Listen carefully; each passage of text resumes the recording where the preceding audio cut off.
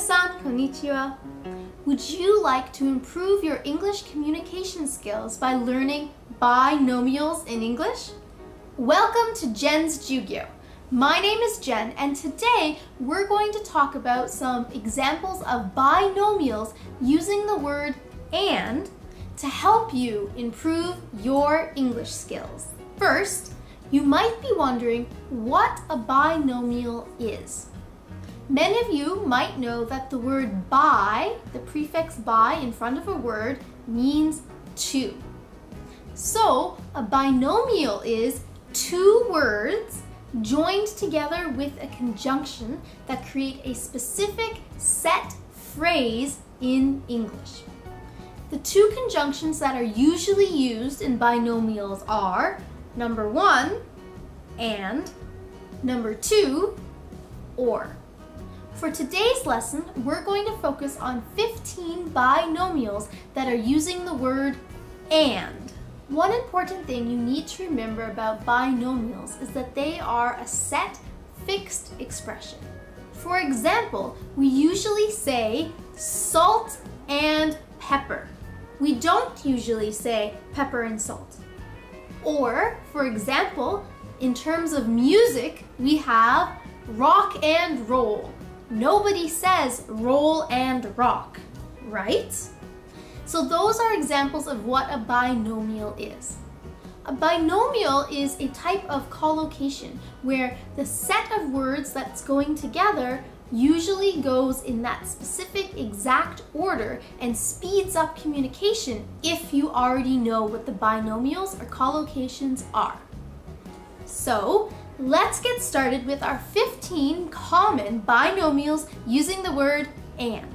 Our first binomial expression for today is black and white. Black and white. So yes, of course, black and white are colors. But if somebody says that something is black and white, what it means is that there is a right answer and a wrong answer. It's very simple and clear and easy to figure out. It's black and white. If something is not black and white, we often say that it is a gray area. There's not definitely a right answer or a wrong answer, it's in between. Okay? So often the expression black and white is used in the negative. Don't make such a judgment like that. Things are not always black and white. Expression number two is loud and clear. The interesting thing about this collocation is that loud and clear doesn't actually mean loud at all. It really only means clear. So if something is loud and clear, usually is referring to directions or instructions that you have received from someone, right? So if my boss tells me to do something and then asks me, do you understand? I will say, yes, I understand. It's loud and clear. Number three, this expression is safe and sound. Safe and sound. Really, it's only technically referring to the word safe, but we use this binomial expression, safe and sound, to mean that someone has arrived somewhere without any harm happening to them. Nothing bad has happened to them and they are safe. So oftentimes if I'm hanging out with one of my friends and they go home afterwards, I might text them to make sure that they got home. So, hey, did you get home all right? And they might respond, yeah, I got home safe and sound. Number four, ah, I'm sick and tired of this. Sick and tired. This expression, sick and tired, doesn't actually mean that you are Oh, sick. It just means that you are exhausted with the idea of something. You're really annoyed and bothered by something. You want something to stop, right? So I'm sick and tired of telling my husband to do the exact same thing every day. Pick up your clothes. Please don't put your clothes on the floor. Put your clothes in the laundry basket. I am sick and tired of repeating these instructions. Number five is pros and cons. Pros and cons. So basically, this means the positive points and the negative points of something, the advantages and the disadvantages. So, before making a big decision, I need to weigh out the pros and cons. I like to discuss the pros and cons of a situation before making an important decision.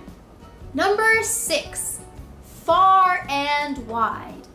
The expression far and wide means a large area, a vast space, many places. For example, when my dog ran away, I searched for him far and wide until I finally found him. Now he's back home, safe and sound. Expression number seven is neat and tidy. neat and tidy. I cleaned my house, so now it is neat and tidy. The broom's a little bit dusty though. Neat and tidy means that things are clean and well organized. Wow, this place is so neat and tidy. Expression number eight, wear and tear. Wear and tear. So even though I really love this book, and try to keep it in good condition, you can see that it's a little bit ripped and dog-eared here. Okay, this is showing signs of wear and tear. It's not as new as it used to be. It's becoming a little bit broken, a little bit faded. Okay, so you can use this in a positive sentence like, oh, I need to be careful with this book. It's starting to show some wear and tear. Or, Wow, I can't believe this car is already 20 years old. It has no signs of wear and tear. It looks brand new. Expression number nine, short and sweet. Short and sweet. So basically, this is referring to something such as a letter or an email or a speech that is very brief, it's not very long, but the contents get directly to the point and say exactly what needs to be said, and it's done in a nice way. So for example, at the graduation, the valedictorian was going to give their graduating speech and they kept it short and sweet. Less than two minutes with all of the key points and everyone felt it was a great speech. Short and sweet. Binomial number 10 is now and then. Now and then. I don't watch sports very often, but Every now and then, I enjoy a Blue Jays game. Now and then means sometimes. I don't always watch baseball, but my husband loves baseball, so sometimes I will watch a Toronto Blue Jays baseball game with him. Every now and then, I will go to a game. Expression number 11 is by and large. By and large. This means generally on the whole when you look at everything. So, for example, I just got back from vacation. There were a few bad points because it rained, but by and large, I had a great time. So by and large, generally, overall, for the most part, it was a great trip. Expression number 12, wine and dine. Wine and dine. So if you wine and dine someone, it means that you are treating them to a delicious meal and good company. Often this is used in business situations, right? So in order to get a contract with our new clients, we first had to wine and dine them. Number 13 is out and about. Out and about. I don't usually like to stay in my house. I like to be out doing things. I like to go to work, go see a play, rehearse for another show, do some private tutoring, go to the art gallery or museum, go for a walk. I like to be out and about, out and about. So this expression means that you don't like to stay in your house. You want to be outside of your house doing different activities be out and about. Expression number 14 is peace and quiet.